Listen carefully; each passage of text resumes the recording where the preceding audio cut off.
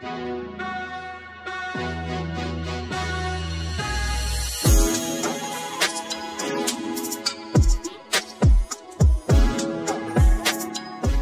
know, from Yobav's Tech. Today I'm here to unbox the DJI Mini 2 SE, one of the best maker of drone in the market so far, which is DJI.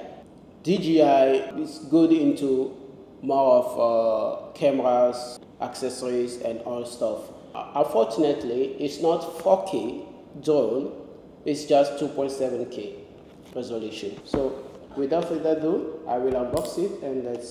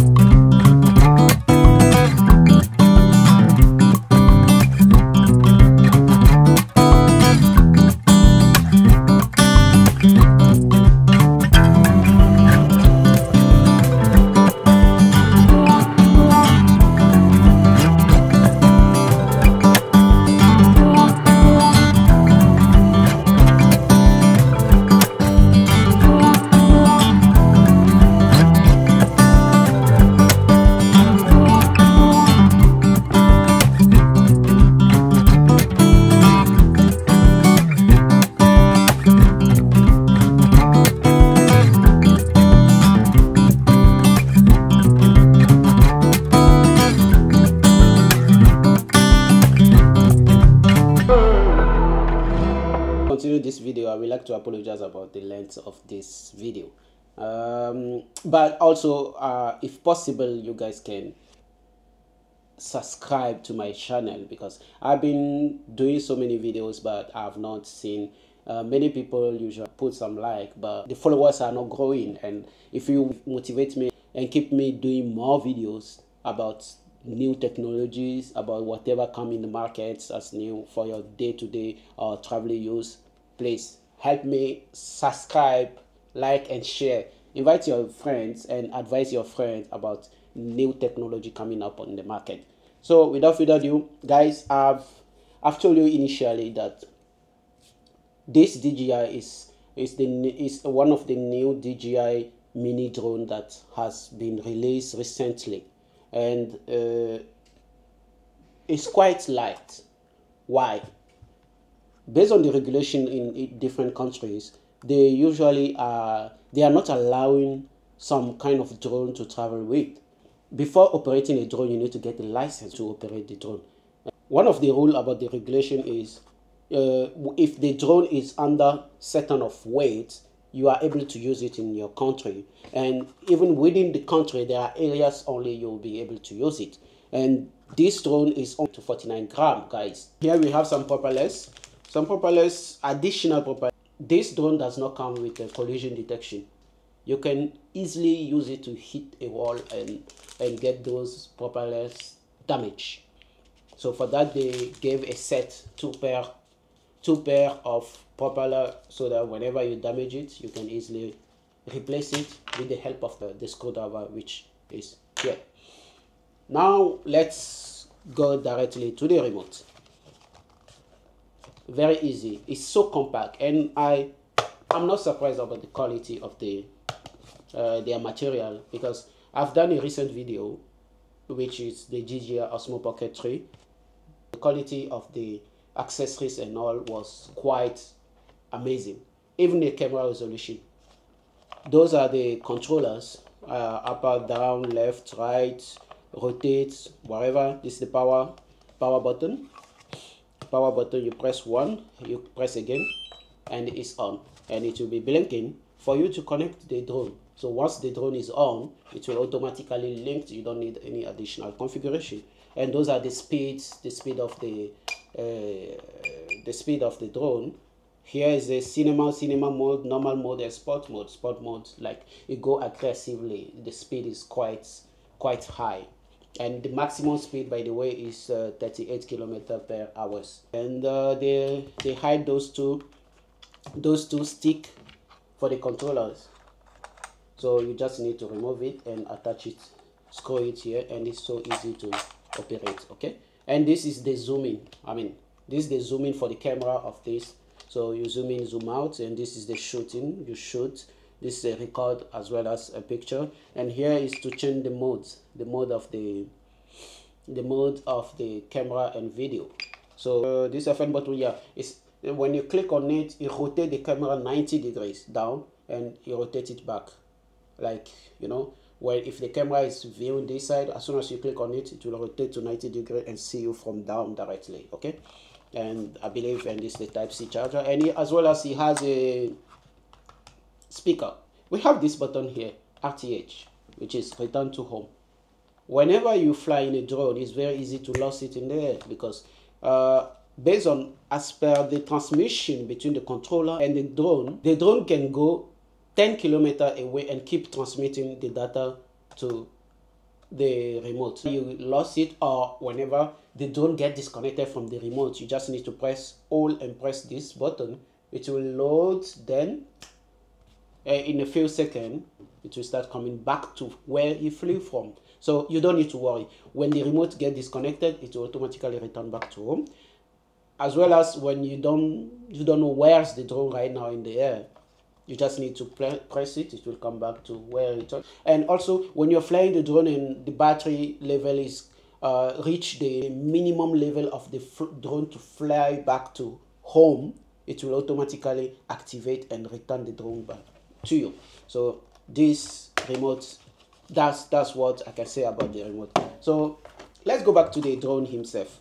Uh, as i said it's very light very light drone. This is the latest this is the a professional drone but with uh, light with lightweight actually.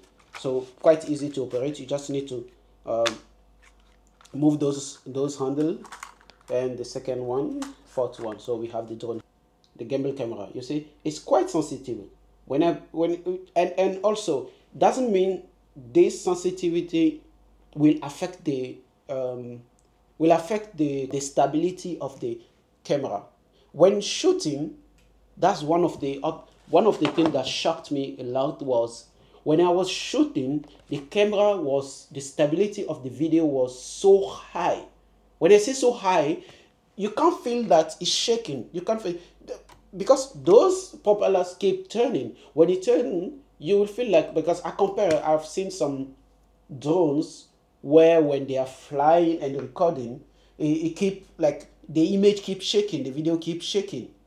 But for this one, it's kind of like you are, a, it's a professional that hold a camera and trying to shoot with more care. Since I've been using the DJI Osmo Pocket 3, I'm like, no, I'm not gonna get any device which into cameras or video or anything that related to um, recording, which is not DJI because DJI is pro, they are they are they are specified only on that you know maximum flight time of the drone is 31 minutes as per um, uh, as per the manufacturer but technically when you're using it it will fly like 20 to 25 minutes maximum. That's the that's the uh, that's how how less flight time is the battery which you need to get a spare battery for you to be able to use it for uh, long time. I didn't get the combo option. The combo option come with uh, two batteries additional plus the uh, battery charging case, which I didn't go for that. But of course, due to this short time, I need to get a battery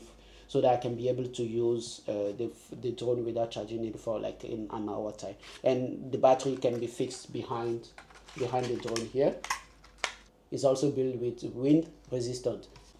Now let's talk about the pro and cons of the this D, D, DJI Mini 2SE. I wish I know initially I should have gotten a DJI um, DJI Mini 4 Pro, DJI Mini 3 Pro. All those have a 4K. All those come with the 4K resolution. But even this with 2.7K, believe me, get the sh shoots with the drone and see the resolution is quite high. It's very clear. So those 4K are for professional when you want to use it for a clip or cinema. But with the 2.7, even it's clear, the clarity is more than your mobile. And trust me, I've done it. I've done, I've done some testing, and I see, I saw that it was so clear. Anyway, it doesn't have collision detection. So when I say collision detection, when the drone is flying and you don't pay attention, it can easily hit anything and fall down. And when it fell, of course, it will affect the drone. In the Mini 2 SE, they did not integrate the uh, collision detection. Consider that option. Do not buy a drone without a collision detection. Unless you are a professional. When you are professional, then you can play around. You can, you know, it will be easy for you to control the drone. But as a beginner, do not go without that. My next drone will definitely have that option. And uh, the second thing is the battery. This is one of the thing DJI did not really pay attention. But of course, that is a um, commercial. They are trying to make you buy the additional battery, the combo option, so that it will help them like so that they earn more than than what you spend. Like now, let's talk about the price. The price was quite low, to eighty to eighty dollars. Uh, if you go on their website, but on Amazon and all, you can get it 300, you can get it to, it depends who, it depends the seller, you know. So budget wise, I believe that drone is recommended for who a beginner. The only issue I did not like about this drone, there's no collision detection and there's no also follow me. Follow me will help you when you just need to set it and it will record you when you are moving, running, or doing any activity, it will keep recording you and follow you when you are moving. So same way it's they have done it in the um, DJI Pocket 3. It keep rotating wherever you go, but it doesn't follow. As a drone, the option of follow me should be there. But this time in the DJI 2 Mini SE, they did not integrate which I'm really disappointed about them. But uh, of course, it helps those people that does not have enough uh, budget for drone to at least operate and then use the like to purchase and then get and then use the drone. So uh, now we will do the testing more outside then we will see. Hi guys. Uh, it's me again as usual. Now i'm here for the practice. I need to set it up and fly so that we can try and see how it's gonna be so uh, i will power it on one time and second time press it. I have my remote ready, remote ready as well as the, the application is already launched. So um, I just need to wait for a few seconds for the remote to connect to the with the drone. And here we go. To fly it, you press you press both control down and you can see that's triggered. I, I believe you can see that, right? Uh, otherwise, land. Yeah. Uh, one more time. I'm gonna show you again. One more time. There is a button on the application right here. I just need to click on it and hold the take off button, which we charge. And you can see, and I have it here on my remote. You see how stable it is? I will start recording it and we can see, yeah, it's going up and then forward. yeah here we go. Yes, guys. It will overfly all the city. Everywhere I want it to go, it will go. Let's come back here. Yeah, uh, it's going forward yes. All the way down, I can control. I can see my city. This is the city I'm in. And then I can turn around. And this is the building. So let's move again. All the way there. And it will show me at which height it is over here as well as the distance the distance from the home the return to home okay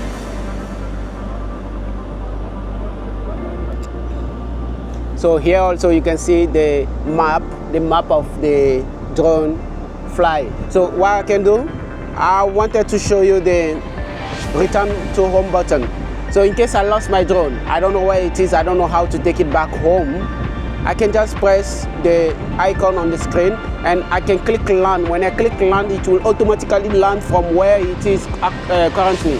which might cause some uh, accident or something. So uh, I can just press and all again the return to home button, then you will start hearing the sound, the beeping sound from the remote controller. Otherwise, I can still press on this home button, yeah.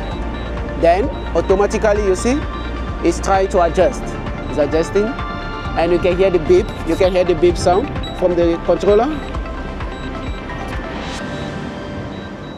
and it will go all the way from the first setting because in the in the application I can set the height of uh, the height of returning to home. So if I set it on 50 or 100 based on the city I am, it depends the height of the building. So for me, I set it as 100 meter so that whenever it's flying and I get, I lost it, I can just, when I press the return home, it has to go up first till 100 meter and flew back to the um, initial, uh, to the to his initial position initial um, location that he flew from.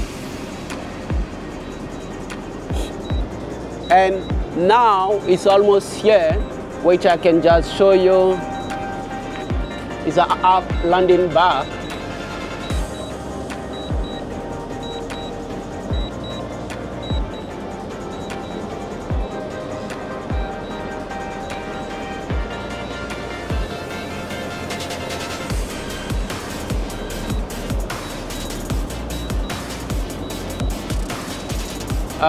don't know if you can see it but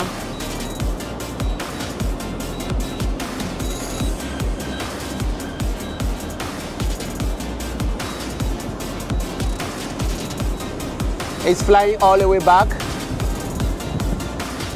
as I told you initially uh, it doesn't really catch the location it flew from but at least it comes nearby you so that you can know that your drone is there so landing it and Yes. Yes, and he's landed. So that's quite easy and simple.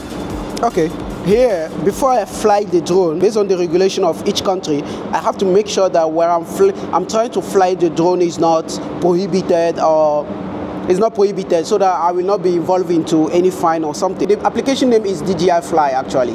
So before you fly, make sure that you go to you, when you open the application, you go to this option called before you fly, the mission needs, and you, you can check and see in which area among your area are not allowed to fly. So I base in UAE, uh, um, in UAE, and there are se several points when I'm not allowed to fly. Uh, as you can see on this application, at left, like the blue, the blue spot is where I am. So next to me directly, there is a restricted zone which I'm not allowed to fly at all. I'm not, I don't, I don't have the right to move my drone to that area. When I move the drone next to the area, the remotes get disconnected from the drone and the drone will fly back to return to home to my uh, to to the initial point when it flew from so that helps to avoid uh, getting into trouble with uh, with the government or with the um, with the regulation actually.